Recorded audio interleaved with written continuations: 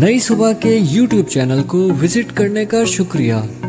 मजीद मालूमती मवाद के लिए सब्सक्राइब कीजिए हमारा YouTube चैनल, या विज़िट कीजिए हमारी website www.naisubha.org n a i s u b a h dot o r g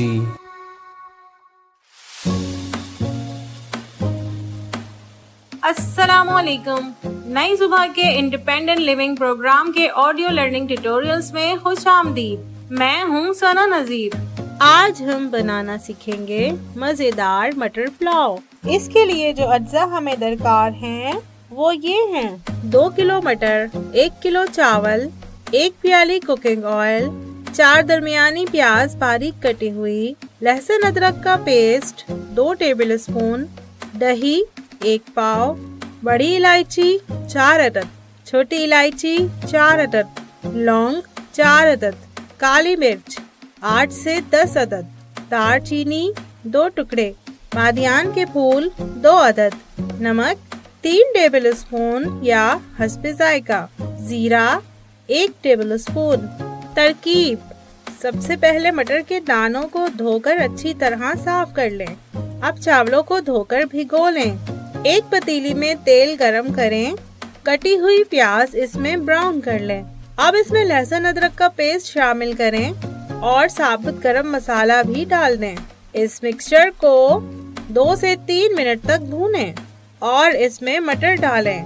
थोड़ी देर चमचा चलाने के बाद इसमें फिटी हुई दही शामिल करें और पकने दें। अब इसमें चार ग्लास पानी शामिल करके पकने के लिए छोड़ दें और आँच धीमी कर दें। आपकी मटर 15 से 20 मिनट में पक जाएगी और चावल डालने के लिए तैयार हो जाएगी अब इसमें नमक और भीगे हुए चावल शामिल करें और चम्मच अच्छी तरह चलाएँ, ताकि नमक, मटर और चावल आपस में मिक्स हो जाएँ।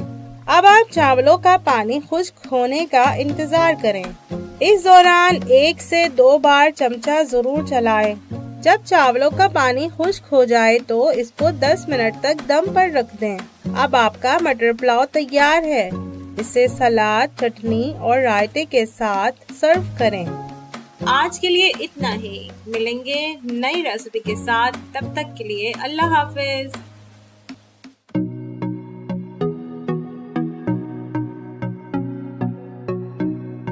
ये मालूमती मवाद आपके लिए नई सुबह की जानब से पेश किया गया। हमारे कंटेंट से मुतालिक अपनी आरा के इजहार के लिए कमेंट कीजिए या डिस्क्रिप्शन में दिए गए रबते के जराये इस्तेमाल कीजिए।